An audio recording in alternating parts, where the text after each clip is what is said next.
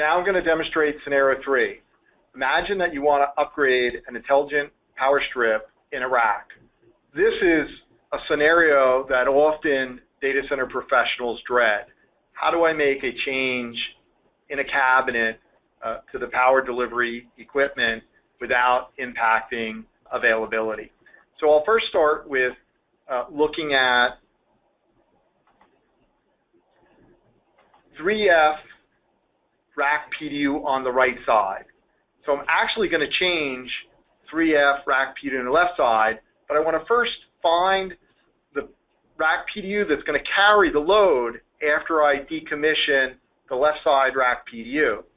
And so I see where it's located in my power path. I look over here and I see that its measured load is 8 amps.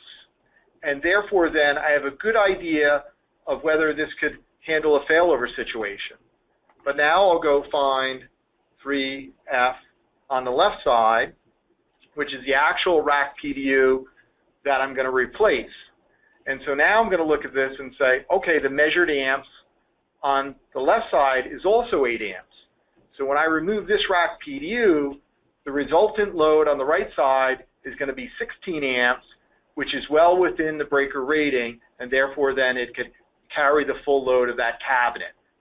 I have an easy at-a-glance visualization of what PDU, PDU-2B, powers this cabinet, and I could transverse the power chain. So in this particular case, this rack PDU is powered by breaker 1012, and I can have an at-a-glance view of the specifications. Uh, this is in a Liebert device. I'm provided the model the phase information, the voltage to current, the nameplate, the budgeted information, as well as the measured information.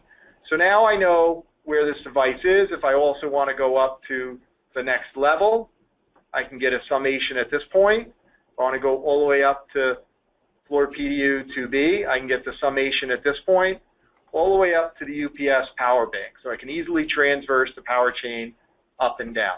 So I've confirmed that I have enough power to handle a failover situation. Now I want to know if each one of my power supplies are redundant. So I pull up cabinet 3F. Each one of my IT devices are redundant. So I run a report, which we call the item power supply redundancy report. And this is going to tell me a couple things. First, it's going to tell me the contents of this cabinet. And so I have a device called Clarity. I have other devices. And what it's going to highlight for me is the vast majority of my devices are redundant with an N plus 1 redundancy, denoted by yellow that it's power source redundant. But I see red here in this particular device, NYFSSQL01 only has one power supply. So I see this highlighted in red. And now I want to check and say, well, what rack PDU is powering this device? And it's rack PDU 3F on the right side. Good news, I'm removing the left side rack PDU.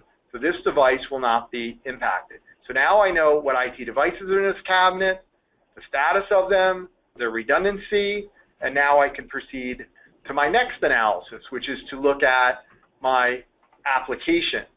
So I bring up cabinet 3F, and I run my report. And when I run my report, I now have the ability to know what applications are running in this cabinet, the criticality of the application, who's the administrator of that device, and who's the customer of that device. I now have all the information I need to make the change.